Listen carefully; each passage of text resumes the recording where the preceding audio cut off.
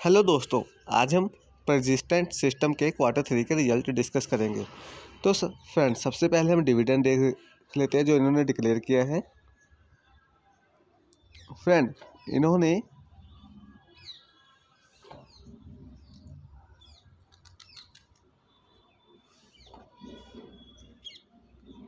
Fourteen rupees का dividend declare किया है। देखिए फ्रेंड ये लिखा हुआ है। इंडियन रुपीज़ फोर्टीन ऑफ़ इनकी फेस वैल्यू कितनी है? दस रुपये तो इन्होंने अपनी फेस वैल्यू का एक सौ चालीस परसेंट डिविडेंड डिक्लेयर किया है। और इसकी रिकॉर्ड डेट भी देख लेते हैं हम। रिकॉर्ड डेट क्या है इसकी? फ्रेंड, जो इस डिविडेंड की रिकॉर्ड डेट है, वो है, देखिए यहाँ पे लिखी होगी, डिविडेंड विल बी, जी देखिए फ्रेंड, वेनेसडे टेन फरवरी है। दस फरवरी से पहले आपके पास जैसे होना चाहिए, तभी आपको ये डिविडेंड मिलेगा। ठीक है फ्रेंड चलिए, अभी हम इनके रिज़ल्ट डिस्कस करते हैं।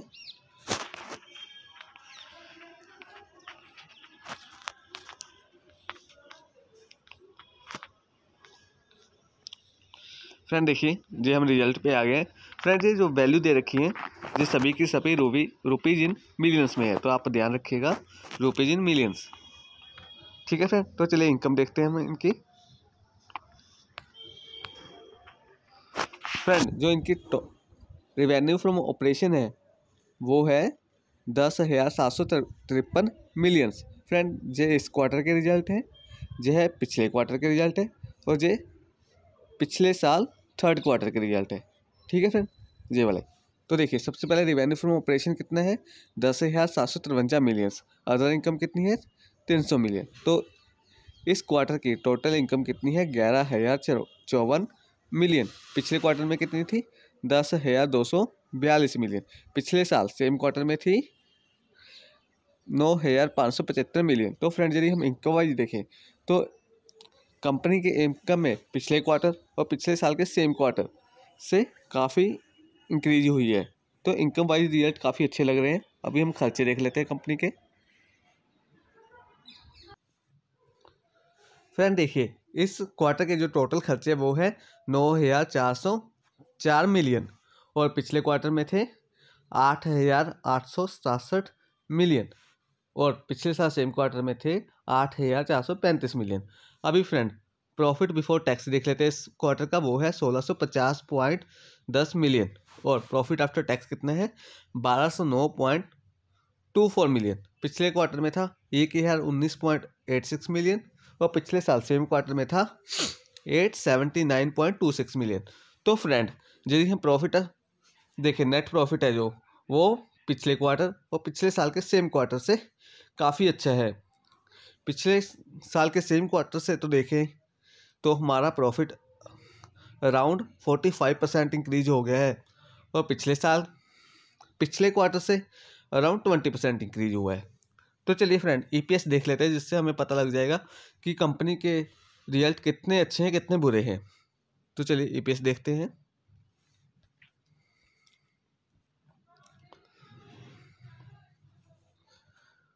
फ्रेंड देखिए, इस साल का जो बेसिक अर्निंग पर शेयर है, वो है पंद्रह रुपये बयासी पैसे। पिछले पिछले क्वार्टर का था तेरह रुपये चौंतीस पैसे और पिछले साल सेम क्वार्टर का था ग्यारह रुपये पचास पैसे। तो फ्रेंड, अर्निंग पर शेयर में भी हमें साफ़ साफ़ दिख रहा है कि हमारे रिज़ल्ट काफ़ी अच्छे आए हैं इस बार। तो चलिए फ्रेंड, अभी हम स्क्रीनर दो तीन साइड पर चलते हैं और शेयर को एनालाइज करते हैं कि हमें इसमें निवेश करना चाहिए या नहीं। देखिए फ्रेंड, अभी हम स्क्रीनर दो तीन साइड पे आ गए हैं। तो कंपनी का मार्केट कैप कितना है? ग्यारह हज़ार चार सौ अठवंजा करोड़ रुपये। करंट प्राइस है चौदह सौ निन्यानवे फिफ्टी टू वीक हाई है सतारह सौ फिफ्टी टू वीक लो है चार सौ बीस रुपये स्टॉक की पी रेशो है twenty eight point nine book value है double three six rupees dividend yield है zero point eight percent R O C eighteen point six percent R O E thirteen point nine percent face value है face value है दस दस रुपये तो friend अभी हम इसका लॉन्ग टाइम का चार्ट देख लेते हैं, जिससे हमें पता लग जाएगा कि हमारे, यदि हम इसमें निवेश करें तो हमारा रुपया कम रिस्क में है या ज़्यादा रिस्क में है। यदि हमारा इंक्रीजिंग ऑर्डर में हुआ इसका चार्ट तो वहाँ पे रिस्क कम रहता है हमारे इन्वेस्टमेंट का। तो चलिए, देखते हैं। देखिए फ्रेंड वैसे तो हमारा जी देखिए, ये लॉन्ग टर्म का जो चार्ट है, ये इंक्रीजिंग ऑर्डर में ही है अभी तक तो। देखिए, जहाँ पे जाके ये जनवरी पंद्रह में ज़रूर जहाँ पे ऑल टाइम इसने हाई लगाया था, फिर ये तीन साल के लिए लगभग, तीन चार चार साल के लिए कंसोलिडेशन जोन में रहा। उसके बाद अभी फिर बढ़ गया है। तो फ्रेंड कंपनी के चार्ट में कोई प्रॉब्लम नहीं लग रही अच्छा खासा है। तो अभी चलिए देखते हैं शेयर के बारे में, कुछ अच्छी बात है, जो इन्होंने हमें बताई है। कंपनी के ऊपर कोई भी कर्जा नहीं है।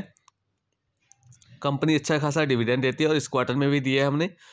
पच्चीस पॉइंट उनचास परसेंट दे देती है। अपने टोटल प्रॉफिट का ये पच्चीस परसेंट डिविडेंड के रूप में दे देती है।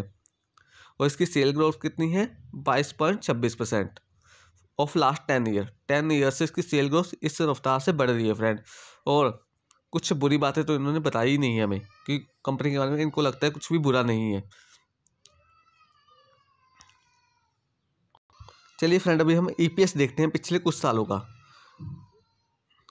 देखिए फ्रेंड 2009 में इस, इनका ई था नौ रुपये बाईस पैसे 2010 में था चौदह रुपये अठतीस पैसे 2011 में सतारह रुपये सैंतालीस पैसे हो गए 2012 में सतारह रुपये बहत्तर पैसे, ते, दो हज़ार तेरह में तेईस रुपये पैंतालीस पैसे, चौदह में इकतीस रुपये सोलह पैसे, पंद्रह में छत्तीस रुपये तैंतीस पैसे, सोलह में चौंतीस रुपये छियासठ पैसे, सैंतीस रुपये अड़सठ पैसे दो हज़ार सतारह में, चालीस रुपये उनतालीस पैसे दो हज़ार अठारह में, दो हज़ार उन्नीस में तरतालीस रुपये छियानवे पैसे दो हज़ार बीस में चौतालीस रुपये तिरवंजा पैसे इस साल का लग रहा है इक्वंजा रुपये बानवे पैसे।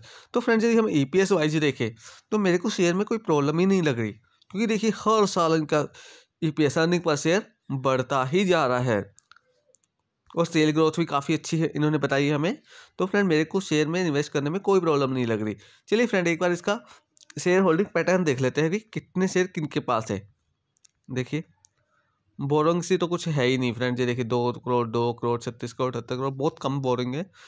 तो कुछ खास नहीं है फ्रेंड तो देखिए फ्रेंड एक, इनका देखिए शेयर होल्डिंग पैटर्न जी देखिए प्रमोटर के पास है अभी इकतीस पॉइंट उनतीस परसेंट। एफ़ आई के पास भी काफ़ी मात्रा में है, अठारह पॉइंट इकहत्तर परसेंट। डी आई के पास भी उनतीस पॉइंट वन परसेंट और हम जैसे आप जैसे, हम जैसे पब्लिक के पास है, सतारह पॉइंट बहत्तर परसेंट और अदर के पास है टू पॉइंट छिहत्तर परसेंट तो फ्रेंड शेयर होल्डिंग पैटर्न में कोई प्रॉब्लम नहीं लग रही, काफ़ी अच्छा है. तो चलिए एक बार मनी कंट्रोल साइट पे चलते हैं, वहाँ पे देख लेते हैं कि इनके कोई शेयर प्लेज तो नहीं है और वहाँ पे एक डेप्ट टू इक्विटी रेशियो हम देखेंगे. वो भी काफ़ी इंपॉर्टेंट रहता है कि कंपनी के ऊपर कितना डेप्ट है.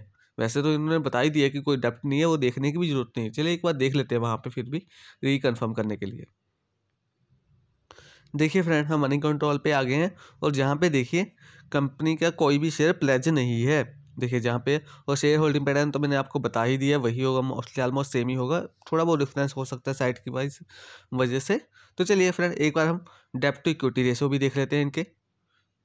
ये होगा फाइनेंशियल में और फाइनेंशियल रेशो तो देखिए फ्रेंड यहाँ पे डेप्ट टू इक्विटी रेशो होगा, जी रहा फ्रेंड ज़ीरो है जान की कंपनी के ऊपर कोई भी डेप्ट नहीं है। ठीक है फ्रेंड तो मेरे को तो ये शेयर निवेश करने के लिए अच्छा लग रहा है, क्योंकि देखिए फ्रेंड जहाँ पे यदि हमने लॉन्ग टर्म चार्ट देखा था,